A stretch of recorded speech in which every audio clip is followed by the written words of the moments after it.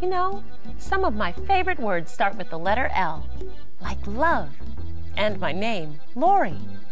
Do you know what sound the letter L makes? La la la la la. Lovely! You sure know your letters. Just like Super Why and the Super Readers.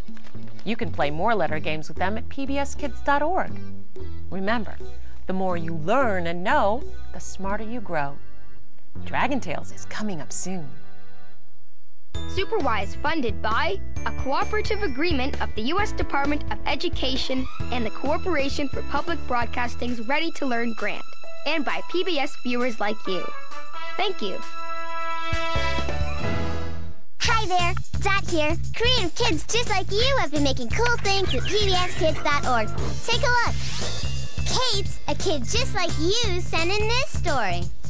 There are lots of ways you can exercise. You can hop on one foot or do jumping jacks. Playing is also a good way to get exercise. Eating healthy is also very important, so eat fruits and vegetables. In conclusion, everyone needs exercise and good healthy food.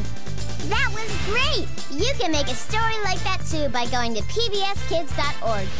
This next story is from Ayana. There was a girl named Dot and she loved to jump rope. One day she saw her brother doing something on the slide and thought it was dangerous. So she told her brother. Her brother listened to her and now her brother is safe. And also now playing hopscotch. That was fun. You could do great things too at pbskids.org. It's Sid the Science Kid. It's me, Sid. I want to measure my room, but I don't have a ruler. Hey, I know. I'll be a ruler. How many Sids long is my room?